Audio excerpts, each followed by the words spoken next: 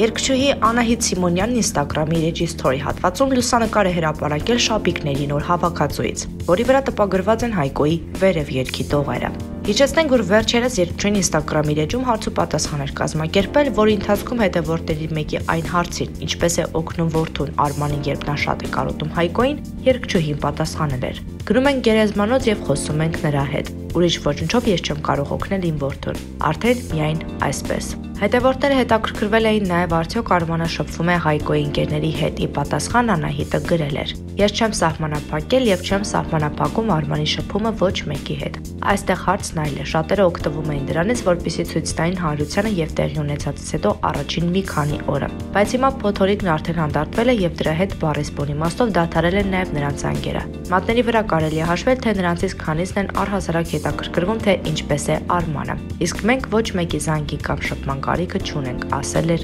երկչուհին։